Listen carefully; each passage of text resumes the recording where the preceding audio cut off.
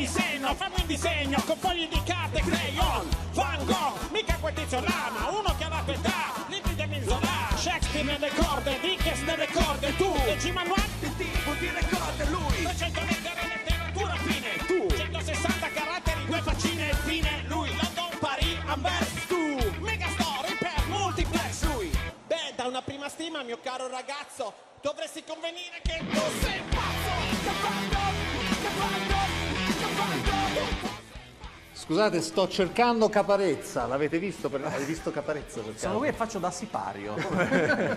Come stai? Bene, È un piacere bene. rivederti.